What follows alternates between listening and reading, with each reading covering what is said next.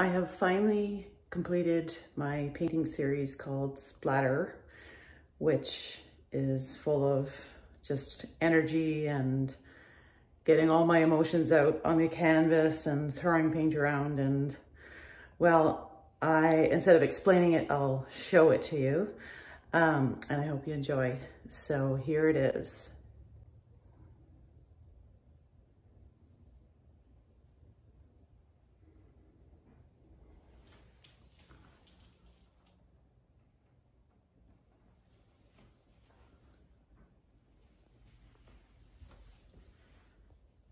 I've got quite a few medium-sized pieces.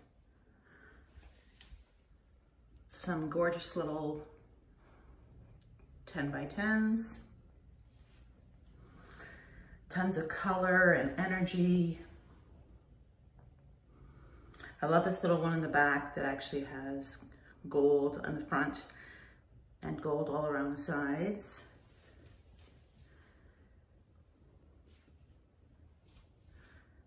Got a couple of vertical, vertical pieces. Here's a really nice vertical piece on the easel here. Tons and tons of layers of paint. I actually did have that much fun painting it. So many layers of paint.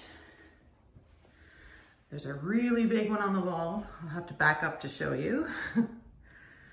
this one has, is very actually heavy. It has so many layers of paint and molding paste and modeling paste and stuff like that. I always say molding paste. I meant to say modeling paste.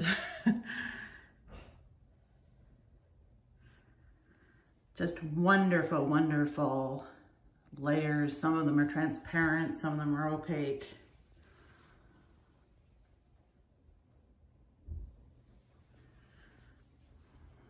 If you go to my Instagram, there's a link to my art inventory. All of these paintings are my art, on my art inventory. I'm really eager to start to get these moving because I'm starting to move on to a new series. So contact me anytime. If you are interested in any of these paintings, look at the energy and the layers